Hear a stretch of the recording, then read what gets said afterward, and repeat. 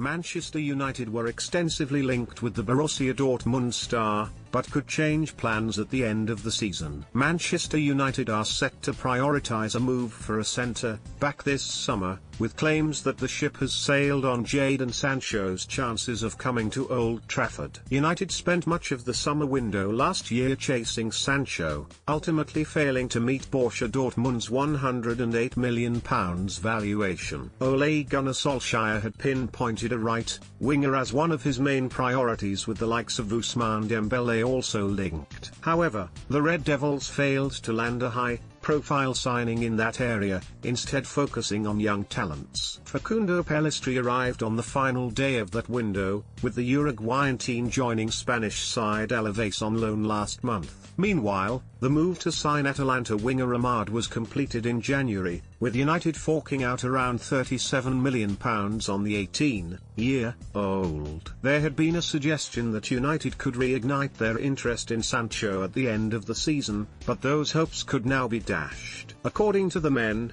Solskjaer will look to improve his defensive options this summer, after conceding more goals than any of their title rivals. The 30 goals they have conceded in the opening 23 games, is just six short of their entire tally for the 2019-20 season. Victor Lindelof has come in for criticism in recent weeks, with United legend Paul Scholes claiming they need a quicker defender to go alongside Harry Maguire. Their defence has just not been good enough, Scholes said, following the 3,3 draw with Everton at the weekend. It's hard to put your finger on it as well because you look individually and they're okay.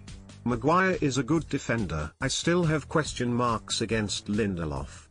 I always will. I don't think he's quick enough to play alongside Maguire, I don't think he's aggressive enough. With United still feeling the impact of the coronavirus pandemic, it could be another more cautious window, as clubs still await the return of supporters and the matchday revenue that comes with them. That means that signing a world-class centre-back could take up most of their budget, leaving a move for Sancho highly unlikely. Sky Sports suggest that a move for a striker is currently not a priority and the same applies to the England international, with the ship having potentially sailed on that one. Amad's impact at United has also reduced the panic to sign a right winger.